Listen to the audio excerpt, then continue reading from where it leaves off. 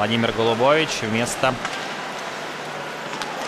Пекитокола, Денис Францкевич. Опасный выход.